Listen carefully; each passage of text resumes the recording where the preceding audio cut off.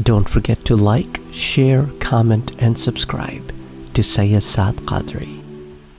السلام علیکم ورحمۃ اللہ وبرکاتہ جس معاشرے میں ہم آج کل رہ رہے ہیں وہاں پر علم جو ہے اس کی کمی ہے اور کتابیں جو ہیں وہ بہتات سے لگی ہوئی ہیں اور بہت زیادہ ایکسیسیبل ہو گئی ہیں کتابیں۔ تو لوگ جو ہے وہ جو کتاب پڑھنا چاہتے ہیں پڑھ لیتے ہیں۔ اور کچھ ایسے لوگ بھی مارکیٹ میں اویلیبل ہو گئے ہیں جو آپ سے کہتے ہیں کہ خود پڑھو خود پڑھو، خود سمجھو، خود سیکھو، کسی عالم کی ضرورت نہیں ہے۔ تم خود عالم بن جاؤ۔ بیسکلی وہ یہ کہہ رہے ہوتے ہیں آپ سے۔ لیکن ان کو یہ نہیں پتا ہوتا، اپنے زوم میں وہ یہ بات کہہ تو جاتے ہیں کہ بیسکلی آپ ایسے بہت سارے لوگوں کو کریٹ کر رہے ہیں معاشرے میں جو گمراہی کے دھارے پر کھڑے ہو گئے۔ اب آپ بھی وہی سوچ رہے ہوں گے کہ بھئی دیکھو، ساتھ صاحب بھی وہی باتیں کر رہے ہیں جو ہم ادھر ادھر ہر جگہ سنتے ہیں کہ بھئی خود سے قرآن کریم نہ پڑھو، گمراہ ہو جاؤ گے، یا خود سے حدیث مبارکہ کا مطالعہ نہ کرو، گمراہ ہو جاؤ گے۔ دیکھیں، میں نے آپ کو یہ بات پہلے بھی واضح طور پر بتا دی تھی کہ حدیث مبارکہ کا مطالعہ کرنا اور قرآن کریم کی آیات کو ترجمے سے پڑھنا اٹس پرفیکٹلی اوکے ٹھیک ہے معاملہ۔ لیکن آپ نے اگر کوئی بات سمجھ میں نہیں آتی تو کہاں آپ رجوع کریں گے؟ علماء سے رجوع کریں گے۔ لیکن مسئلہ یہ ہے کہ بہت سارے لوگ علماء سے رجوع نہیں کرتے۔ اس کی ساری کی ساری رسپانسبلٹی میں لوگوں پہ نہیں ڈالتا۔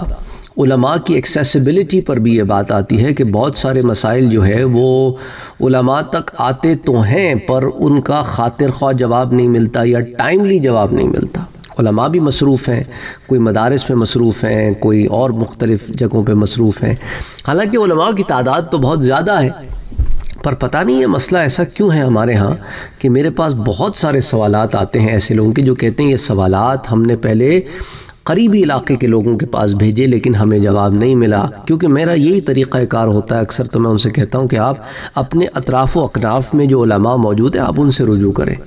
بعض لوگ کہتے ہیں کہ ہمارا تعلق جو ہے وہ دیوبند مکتبہ فکر سے، اور آپ کا تعلق دیوبند مکتبہ فکر سے نہیں ہے، لیکن ہم یہ مسئلہ پوچھنا چاہتے ہیں۔ کہ بھائی، اپنے علماء سے پوچھو۔ وہ کہتے ہیں جی ہمیں یہ جواب نہیں ملا ہمارے علماء سے۔ تو بہرحال وہ ایسے مسئلے نہیں ہوتے، اختلافی مسائل نہیں ہوتے لیکن وہ مسئلے ایسے ہوتے ہیں جن کی ایکسپلینیشن درکار ہوتی ہے۔ بعض غیر مقلدین بھی سوالات بھیجتے ہیں، ان کو بھی ایڈریس کرنے کی میں کوشش کرتا ہوں۔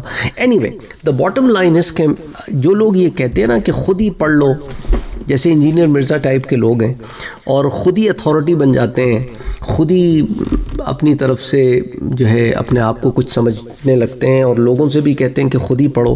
تو بخاری شریف بھی لوگ کیا کرتے ہیں؟ گھر میں بیٹھ کے مطالعہ شروع کر دیتے ہیں۔ اور بعض جگہ ایسے ہوتے ہیں جہاں پہ فقہی مسائل آ جاتے ہیں۔ اور وہ فقہی مسائل بھی ایسے ہوتے ہیں کہ دو حدیثیں ایک کے بعد ایک ہوتی ہیں اور دونوں میں بات مختلف نظر آتی ہے۔ اب بندہ پڑھ کے کہتا ہے کہ یہ مانو کہ وہ مانو۔ ہو سکتا ہے نا؟ تو اب یہاں پر پھر علماء درکار ہوتے ہیں۔ لیکن جب انسان نے یہ فیصلہ کر لیا ہے کہ میں پھنس جاؤں تو علماء سے پوچھوں گا ہی نہیں کیونکہ میں تو خود عالم بن گیا ہوں، کیونکہ کتابیں پڑھنی آتی ہیں مجھے۔ دیکھیے، مطالعے کے زور پر جب آپ علم حاصل کرتے ہیں نا، تو پھر لوگ ٹھوکر کھاتے ہیں اور بہت لوگوں نے ٹھوکر کھائی ہے۔ دیکھیں بخاری شریف میں امام بخاری نے ایک باپ قائم کیا ہے۔ کتاب الادان میں جس کے انگلش میں کال ٹو پریئرز کہتے ہیں۔ اس میں وہ باب ہے 51 باب کا نام ہے، انما جعل الامام لیعتم به، کہ امام بنایا اس لیے جاتا ہے کہ اس کی اتباع کی جائے۔ The imam is appointed to be followed اب اس میں پے در پے دو حدیثیں آتی ہیں۔ وہ دونوں حدیثیں میں آپ کے سامنے رکھتا ہوں۔ پھر ایک لمحے کو آپ خود سوچے کہ اگر اس کی شرح نہ بیان کی جائے، تو یہ آپ کو کنفیوز کر دے گی۔ دونوں امام بخاری روایت کرتے ہیں۔ آف کورس بخاری شریف ہی کی روایات ہیں۔ پہلی روایت ہے، حضرت عائشہ صدیقہ رضی اللہ تعالی عنہ بیان کرتی ہیں کہ حضور اکرم صلی اللہ علیہ وآلہ وسلم نے اپنے گھر میں نماز پڑھی۔ اس وقت آپ بیمار تھے، سو آپ نے بیٹھ کر نماز پڑھی اور آپ کے پیچھے لوگوں نے کھڑے ہو کر نماز پڑھی۔ آپ نے ان کی طرف اشارہ کیا کہ وہ بیٹھ جائیں۔ جب آپ نماز سے فارغ ہوئے تو آپ نے فرمایا کہ امام صرف اس لیے بنایا جاتا ہے کہ اس کی اقتداء کی جائے۔ إنما جعل الإمام ليؤتم به فإذا ركع فاركعوا وإذا رفع فارفعوا وإذا قال سمع الله لمن حمده فقول ربنا ولك الحمد. تو إمام اس لئے بنایا جاتا ہے کہ اس کی اقتداء کی جائے تو پس وہ جب رکو کرے تو تم رکو کرو جب وہ رکو سے سر اٹھائے تو تم بھی رکو سے سر اٹھاؤ جب وہ سمع الله لمن حمده کہے تو تم ربنا ولك الحمد پڑھو وإذا صلى جالسا فصلوا جلوسا نجمعون اور جب وہ بیٹھ کر نماز پڑھے تو تم سب بھی بیٹھ کر نماز پڑھو، ٹھیک ہے؟ بخاری شریف حدیث نمبر 688 یہی روایت صحیح مسلم میں بھی آتی ہے متفق علیہ روایت ہوگی، صحیح مسلم میں حدیث 412 پھر اسی طرح سنن نبی داود میں بھی آتی ہے، حدیث نمبر 605 سنن ترمیزی میں بھی آتی ہے، حدیث 361 سنن نسائی میں بھی آتی ہے، حدیث 828 uh, سنن ابن ماجہ میں بھی آتی ہے، حدیث 237 سیاہ ستہ کی کل کتب حدیث میں روایت آتی ہے۔ اور پھر امام uh, جو ہے نسائی سے سنن القبرہ میں بھی لاتے ہیں۔ پھر صحیح ابن خزیمہ میں، مصنف ابن ابی شیبہ میں یعنی کئی سینکڑوں حدیث کی کتابیں موتا امام مالک میں، مسند امام احمد میں، کئی کتب حدیث میں آتی ہے اب اس حدیث کا جو عنوان ہے، وہ بھی آپ کو بتا دیا، حدیث بھی بتا دی سکس ایٹی ایٹ اب آ جائیں سکس ایٹی نائن آپ کے سامنے رکھتا ہوں، پھر اس پر ہم تفصیل سے بات کریں گے۔ امام بخاری نے اسے روایت کیا، حضرت انس ابن مالک سے۔ بیان کرتے ہیں کہ حضور صلی اللہ علیہ وآلہ وسلم ایک گھوڑے پر سوار ہوئے۔ آپ اس گھوڑے سے گر گئے اور آپ کی دائیں جانب زخمی ہو گئے۔ آپ نے نمازوں میں سے کوئی نماز بیٹھ کر پڑھی، لہٰذا ہم نے بھی آپ کے پیچھے نماز بیٹھ کر پڑھی۔ پھر جب آپ نماز سے فارغ ہو گئے تو آپ نے فرمایا، امام صرف اس لیے بنایا جاتا ہے کہ اس کی اقتدا کی جائے۔ سو جب وہ کھڑے ہو کر نماز پڑھے تو تم کھڑے ہو کر نماز پڑھو۔ جب وہ رکو کرے تو تم رکو کرو، اور جب وہ رکو سے سر اٹھائے تو تم بھی رکو سے سر اٹھاؤ، اور جب وہ سمیع اللہ علیہ حمیدہ کہے تو تم ربنا ولک الحمد کا، اور جب وہ کھڑے ہو کر نماز پڑھے تو تم کھڑے ہو کر نماز پڑھو، اور جب وہ بیٹھ کر نماز پڑھے تو تم بیٹھ کر نماز پڑھو۔ اچھا اب اسی روایت میں امام ابو عبداللہ یعنی امام بخاری نے کہا کہ حمیدی نے بیان کیا کہ حضور صلی اللہ علیہ وآلہ وسلم نے یہ جو فرمایا نا کہ جب امام بیٹھ کر نماز پڑھے تو تم بھی بیٹھ کر نماز پڑھو، آپ کا یہ ارشاد آپ کے مرض قدیم میں تھا یعنی پچھلے پرانے مرض میں تھا۔ اس کے بعد نبی نے بیٹھ کر نماز پڑھی اور لوگ آپ کے پیچھے کھڑے ہوئے تھے اور آپ نے ان کو بیٹھنے کا حکم نہیں دیا اور ہمیشہ آخری حدیث پر عمل کیا جاتا ہے اور آخری حدیث نبی کا یہ عمل ہے۔ اب اس کے اندر جب لوگ آتے ہیں تو اب وہ اس شش و پنج میں پڑ جاتے ہیں کہ آیا امام اگر بیٹھ کر نماز پڑھے تو ہم بیٹھ کر نماز پڑھیں گے کہ نہیں؟ اور اگر امام بیٹھ کر نماز پڑھے تو کیا پیچھے مقتدی کھڑا ہو سکتا ہے کہ نہیں؟ اب دو باتیں آ گئیں یہاں پر۔ ایک حدیث کے اندر ایک بات ہے اور ایک حدیث میں دونوں کو جمع بھی کر دیا گیا ہے۔ اور یہاں پر امام بخاری نے ایک قول کو جمع کیا ہے۔ اور اس قول کو حمیدی کی طرف انہوں نے کہا ہے کہ حمیدی نے کہا قال ابو عبداللہ قال الحمیدی قولو اذا صلى جالسا فصلوا جلوسا هو في فرضه القديم ثم صلى بعد ذلك النبي صلى الله عليه وسلم جالسا والناس خلفه قياما لم يأمرهم بالقعود وإنما يؤخذ بالآخر فالآخر من فعل رسول الله صلى الله عليه وسلم من, من فعل النبي صلى الله عليه وسلم، تو ہم نے آخری فعل نبی کا لے لیا۔ اب اس کے اوپر جو ہے شروحات آتی ہیں بخاری کہ آپ کے دو مرضوں کا ذکر ہے، ایک مرض وفات کا ذکر ہے اور ایک اس سے پہلے مرض کا ذکر ہے۔ اب حضرت انس نے تو دونوں باتیں جمع کر دیں۔ تو اب اس ضمن میں آئمہ فقہ جو ہیں، ان کے ہاں کیا دلیلیں کہ مرض وفات میں جو حضور نے نماز پڑھی، اس میں آپ امام تھے یا نہیں تھے؟ اور جب امام بیٹھ کر نماز پڑھے تو مقتدی بیٹھ کر نماز پڑھے گا کہ نہیں پڑھے گا؟ اس میں پھر آئمہ فقہ کی کیا رائے ہے؟ یہ تو سمجھ میں آ گیا نا، حضرت انس ابن مالک بیان کرتے ہیں کہ حضور صلی اللہ علیہ وسلم جب گھوڑے سے گر گئے تھے اور آپ کا دایاں پہلو زخمی ہو گیا تھا، سو ہم آپ کی عیادت کرنے کے لیے گئے تو پھر نماز کا وقت آ گیا، تو ہم نے، تو آپ نے ہم کو بیٹھ کر نماز پڑھائی۔ لہٰذا ہم نے بھی آپ کے پیچھے بیٹھ کر نماز پڑھی۔ جب آپ نے نماز ادا کر لی تو فرمایا کہ امام صرف اس لیے بنایا جاتا ہے کہ اس کی اقتدا کی جائے۔ اب روایت کا یہ ٹکڑا لے لیا گیا تو اب اس کے مطابق بعض علماء کرام جیسا کہ علامہ یحییٰ ابن شرف نووی رحمۃ اللہ علیہ جو شافی المسلک ہیں، آپ نے جب صحیح مسلم کی شرح لکھی اس حدیث پر جو صحیح مسلم میں آتی ہے، کیونکہ یہ جو میں نے آپ سے روایت بیان کی ہے نا بخاری شریف والی، تو اس کی شرح میں جو ہے وہ امام نووی جو ہے وہ صحیح مسلم میں جو شرح بیان کرتے ہیں تو اس میں اس مسئلے میں فقہ کا اختلاف بھی بیان کرتے ہیں۔ وہ کہتے ہیں، یہی وجہ ہے کہ آپ کو شروحات بھی پڑھنی چاہیے جہاں آپ حدیث مبارکہ پڑھ رہے ہیں۔ وہ کہتے ہیں کہ امام احمد ابن حنبل کے نزدیک اور امام اوزائی کے نزدیک، انہوں نے اس حدیث کے ظاہر کے مطابق کہا کہ جب امام بیٹھ کر نماز پڑھے تو لوگ بھی اس کی اقتداء میں بیٹھ کر نماز پڑھے خواہ ان کو کوئی عذر ہو یا نہ ہو، وہ کھڑے رہ کر بھی نماز پڑھ سکتے ہوں تو انہیں بیٹھ کر ہی پڑھنا چاہیے۔ امام مالک نے ایک روایت میں یہ کہا ہے کہ جو شخص کھڑے ہونے پر قادر ہو، اس کی نماز اس شخص کے پیچھے جائز نہیں جو بیٹھ کر نماز پڑھ رہا ہو۔ خواہ مقتدی بیٹھ کر نماز پڑھ رہا ہو یا کھڑے ہو کر نماز پڑھ رہا ہو، وہ کہتے ہیں جائز ہی نہیں۔ اچھا امام ابو حنیفہ اور امام شافعی اور جمہور متقدمین رحمہ اللہ نے یہ کہا ہے کہ جو شخص کھڑے ہونے پر قادر ہو، اس کی نماز بیٹھنے والے کے پیچھے صرف اس صورت میں جائز ہے جب وہ کھڑے ہو کر نماز پڑھیں۔ اب آئمہ فقہ کا اختلاف آ گیا اور ہر ایک کے پاس حدیث موجود ہے۔ ہر ایک حدیث سے استدلال کرتا ہے۔ تو ان کا استدلال اس حدیث سے ہے جو کہ حضور صلی اللہ علیہ وسلم نے مرد وفات میں بیٹھ کر نماز پڑھی اور حضرت ابو بکر نے اور لوگوں نے آپ کے پیچھے کھڑے ہو کر نماز پڑھی۔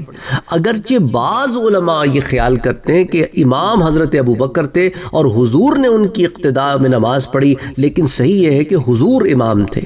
اور امام مسلم نے اس باب کے بعد صراحتاً اس حدیث کا ذکر کیا ہے اور امام ابن ابی شیبہ نے حضرت عائشہ کی یہ روایت بھی ذکر کی ہے کہ حضور تشریف لائے حتیٰ کہ حضرت ابو بکر کی بائیں جانب بیٹھ گئے اور آپ جانتے ہیں کہ اگر دو لوگ نماز پڑھ رہے ہوں تو مقتدی بائیں نہیں، دائیں بیٹھتا ہے یا دائیں کھڑا ہوتا ہے اور امام بائیں ہوتا ہے۔ تو جو بائیں ہوتا ہے وہ امام ہوتا ہے، جو دائیں ہوتا ہے وہ مقتدی ہوتا ہے۔ تو حضور نے اگر حضرت ابو بکر کی اقتداء میں نماز پڑھنی تھی تو حضور دائیں طرف بیٹھتے، بائیں طرف بیٹھنے کا مطلب تھا کہ اب حضور امام ہیں اور حضرت ابو بکر ان کے مقتدی ہیں اور تمام لوگ حضرت ابو بکر کی اقتداء میں نماز پڑھ رہے ہیں۔ تو اب یہ آپ کو مسئلے کہاں سے پتہ چلیں گے؟ شروحات حدیث سے پتہ چلیں گے۔ حدیث کی جو تشریحات ہوتی ہیں۔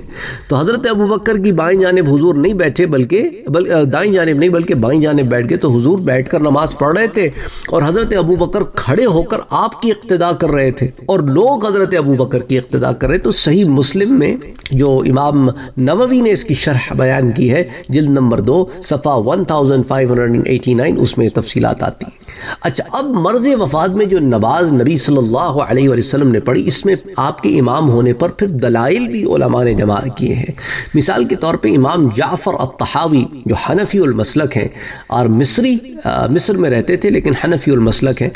آپ فرماتے ہیں، متوفی 321 ہجری کے آپ لکھتے ہیں کہ حضرت عائشہ روایت کرتی ہیں کہ حضور صلی اللہ علیہ وسلم حضرت ابو بکر کی بائیں جانے بیٹھ گئے اور یہ امام کے بیٹھنے کی جگہ ہے۔ اور اگر حضرت ابو بکر امام ہوتے تو حضور ان کی دائیں جانب بیٹھتے۔ بس جب آپ حضرت ابو بکر کی بائیں جانب بیٹھے اور حضرت ابو بکر آپ کی دائیں جانب بیٹھے تو یہ دلیل ہے کہ حضور امام ہے اور حضرت ابو بکر مقتدی۔ اور دوسری دلیل یہ ہے کہ حضرت عبداللہ ابن عباس نے اپنی حدیث بیان کی میں بیان کیا ہے کہ حضرت ابو بکر نے جس جگہ قرت ختم کی، حضور نے اس جگہ سے قرت شروع کی۔ اور مقتدی قرت شروع نہیں کرتا، وہ اقتدا کرتا ہے۔ تو اس حدیث میں یہ دلیل ہے کہ حضرت ابو بکر نے قرت منقطع کر دی، چھوڑ دی۔ اور حضور نے قرت شروع کر دی اور یہ حضور کے امام ہونے کی دلیل ہے کیونکہ اگر آپ امام نہ ہوتے تو آپ قرت نہ کرتے کیونکہ یہ وہ نماز تھی جس میں جہرن زور سے قرت کی جاتی تھی۔ اگر ایسا نہ ہوتا تو حضور کو علم نہ ہوتا اور حضرت ابو بکر نے قرت کہاں ختم کی، اس کا خبر، اس کی پتہ نہ ہوتا اور نہ حضرت ابو بکر کے پیچھے نماز پڑھنے والوں کو اس کا علم ہوتا اور جب یہ معلوم ہو گیا کہ جاری نماز تھی تو حضور نے اس نماز میں جہرن قرت کی تھی اور تمام لوگوں کا اس پر اتفاق ہے کہ مقتدی امام کے پیچھے قرت نہیں کرتا۔ تو اس سے ثابت ہو گیا کہ اس نماز میں حضور ہی امام تھے۔ تو نظر صحیح کا تقاضا بھی یہی ہے کہ اگر مقتدی کو عذر نہ ہو تو اس سے قیام ساقت نہیں ہوگا، کیونکہ جب مقتدی امام کی نماز میں داخل ہو تو جو چیز مقتدی پر فرض ہو وہ امام کے نماز میں داخل ہونے سے اس پر ساقت نہیں ہوتی۔ تو اسی لیے جو ہے شرح معانی الاثار کی جلد نمبر ایک صفحہ 250 524 اور 525 پر یہ تفصیلات آتی ہیں کہ حضرت ابو بکر اور دوسرے نمازیوں سے قیام ساقت نہیں ہوا۔ حضور نے بیٹھ کر نماز پڑھائی اور حضرت بکر نے اور باقی نمازیوں نے کھڑے ہو کر نماز پڑھائی اور اس میں وہ ایک اور حدیث سے یہ بھی استدلال کرتے ہیں نا، دیکھیں جی اگر کوئی مقتدی ایسا ہو جو مقیم ہو، کسی جگہ کا ڈویلر ہو، رہنے والا ہو، لیکن امام جو ہے وہ باہر سے آیا ہو، مسافر ہو، تو امام تو قصر کر رہا ہے، دو رکعت پڑھ رہا ہے، لیکن مقتدی چار اپنی پوری کرے گا۔ دو رکعت جو امام کے پیچھے ہیں، وہ پڑھے گا، امام تو سلام پھیر لے گا اور مقتدی پھر اپنی باقی دو رکعت پوری کرے گا۔ تو اس ادھر جو ہے، وہ ساخت نہیں ہوگا معاملہ۔ تو اسی سے وہ استدلال کرتے علماء کہ دیکھو، آپ آپ مقیم ہیں تو مقیم کی حیثیت سے چونکہ امام تو دو پڑھ رہا ہے کیونکہ وہ مسافر ہے، آپ سے آپ کا فرض ساکت نہیں ہوا، آپ نے اپنا فرض پورا کرنا ہے۔ اچھا بعض لوگ جب حدیث 688 پڑھتے ہیں اور اسی پر اکتفا کر لیتے ہیں اور آگے نہیں پڑھتے، تو وہ اپنا ایک ذہن بنا لیتے ہیں۔ وہ کہتے ہیں کہ جب امام بیٹھ کر نماز پڑھے تو تم سب بھی بیٹھ کر نماز پڑھو اور یہ حدیث اس تحقیق کے خلاف ہے جو آپ پیش کر رہے ہیں، کر، سوال کر سکتا ہے نا؟ تو اس کا جواب بھی محدثین نے یہ دیا ہے اور شارحین حدیث نے یہ دیا ہے کہ اس حدیث میں نبی صلی اللہ علیہ وآلہ وسلم کی جس مرض کی طرف نسبت ہے وہ پہلے کا ہے۔ اور مرض وفات میں آپ نے بیٹھ کر نماز پڑھی اور مقتدیوں نے کھڑے ہو کر نماز پڑھی تو اس سے پہلا حکم منسوخ ہو گیا۔ تو بعض دفعہ کیا ہوتا ہے کہ لوگ حدیث کی کتابوں میں حدیث پڑھتے ہیں اور ناسخ و منسوخ کا مسئلہ نہیں پتا ہوتا۔ جس طرح قرآن کریم میں بھی ایسی آیات ہیں نا جو ناسخ و منسوخ کا مسئلہ نہیں پتہ ہوتا، تو اس میں بھی لوگ جو ہے وہ غلطیاں کر بیٹھتے ہیں اور اپنی طرف سے ذہن بنا لیتے ہیں۔ اور اسی لیے علماء کہتے ہیں کہ دیکھو، کسی عالم کی صحبت میں بیٹھ کے، کسی عالم کے ساتھ قرآن کریم کا مطالعہ کرو اور حدیث مبارکہ کا مطالعہ کرو یا کہیں پھنس جاؤ تو علماء سے رجوع کرو تاکہ تم اپنا کوئی ذہن نہ بنا لو، تم خود کہیں مفتی نہ بن جاؤ، خود کہیں فقی نہ بن جاؤ، خود نہ مسئلے گردانتے پھرو۔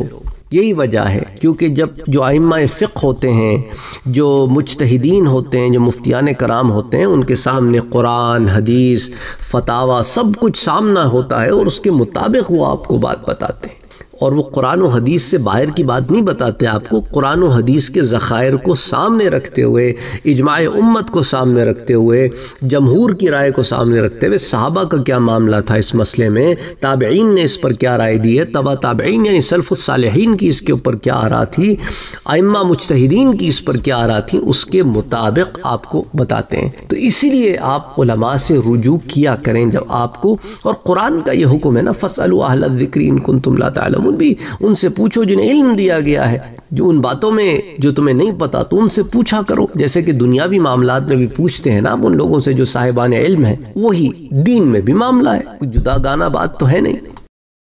تو امید کرتا ہوں کہ یہ جو میں نے آپ کو ایک درس دیا ہے سترہ اٹھارہ منٹ کا اس کا مقصد یہ تھا کہ آپ کو اس طرف آپ کا ذہن ڈالا جائے کہ اگر آپ کہیں سے بات کرتے نا کہ بھئی تم خود ہی پڑھ لیا کرو اور کسی سے پوچھنے کی ضرورت نہیں ہے اور خود علامہ بن کے بیٹھ جائیں سارے کے سارے، تو اس میں بہت بڑا نقصان یہ ہوتا ہے کہ لوگ اپنی کم فہم کی وجہ سے بعض مغالطوں کا شکار ہو جاتے ہیں اور بحث و مباحثے میں پڑ جاتے ہیں اور انہیں جب صحیح بات بتائی جاتی ہے تو وہ ایک حدیث مبارکہ لے کے آ جاتے ہیں کہ بھائی دیکھیں، یہ دکھے یہ دیکھیں، اس حدیث میں لکھا ہوا ہے۔ انہیں نہ اس کا آگا پتہ ہوتا ہے، نہ پیچھا پتہ ہوتا ہے، انہیں یہ پتہ نہیں ہوتا کہ یہ حدیث کے علاوہ بھی کوئی حدیثیں موجود ہیں کہ نہیں۔ ہو سکتا ہے جس کتاب سے یہ حدیث لا رہے ہیں، اسی کتاب میں کوئی اور حدیث بھی موجود ہو۔ اس لیے دیکھیں نا، جو حدیث کی کتابیں ہوتی ہیں، وہ فقہ کی کتابیں نہیں ہوتی۔ گو کہ بعض محدثین نے اپنی حدیث کی کتابوں میں ترجمت الباب اپنی فقہ کے مطابق باندھے ہیں۔ لیکن مسئلہ کیا ہے کہ وہ پراپر فقہ کی کتابیں نہیں ہوتی۔ اسی لیے جب لوگ ڈائریکٹ حدیث کی کتابوں پر پڑھنا شروع کر دیتے ہیں اور پھر ان پر فقہ کا اطلاق کرنا شروع کر دیتے ہیں، تو پھر وہ کنفیوز ہو جاتے ہیں۔ انہیں معاملات سمجھ میں نہیں آتے اور پھر شروعات سے بھی رجوع نہیں کرتے، تو انہیں سمجھ ہی نہیں آتا کہ معاملہ اصل میں کیا ہے۔ اس لیے اپنا معمول بتائیں، بنائیں کہ علم اگر حاصل کریں تو پراپر علم حاصل کریں۔ اور یاد رکھیں، میں پہلے بھی آپ کو بتا چکا ہوں، بخاری شریف ایک بہت مشکل کتاب ہے۔ اسے پڑھانے کے لیے محدثین کرام جو ہے نا، اس میں بہت احتیاط برتتے ہیں۔ آپ کسی مدرسے میں چلے جائیں، بخاری شریف اس مدرسے کے چوٹی کے علماء پڑھاتے ہیں۔ علماء حدیث جو ہوتے ہیں، اس وہ پڑھاتے ہیں۔ عام محدثین اس، اور عام علماء جو وہاں پر دوسری حدیث کی کتابیں پڑھاتے ہیں، وہ بخاری نہیں پڑھاتے۔ تو بہرحال یہ میں آپ کو وہ باتیں بتا رہا ہوں جو علماء کرام سے بھی آپ نے سنی ہوں گی یا سنیں گے۔ تو اینی وے ہم نے ایک مشکل ترین کتاب اٹھا لی ہے، اور اس کو ہم مطالعے سے سمجھنے کی کوشش کر رہے ہیں۔ کتنے لوگ ہیں جو بخاری شریف پڑھتے ہیں اور ساتھ اس کی شرح بھی پڑھتے ہیں۔ آپ خود فیصلہ کریں۔ قرآن کریم پڑھتے ہیں اور اس کی ساتھ تفسیر بھی پڑھتے ہیں۔ کتنے لوگ ہیں؟ قلیل من عباد اللہ تھوڑے سے لوگ ہیں۔ تو قرآن کریم کا مطالعہ کریں تو ساتھ تفسیر بھی پڑھیں۔ حدیث مبارکہ کا مطالعہ کریں تو ساتھ اس کی شرح بھی پڑھیں۔ بہرحال السلام علیکم ورحمۃ اللہ وبرکاتہ۔ Don't forget to like, share, comment, and subscribe to Sayyid Saad Qadri.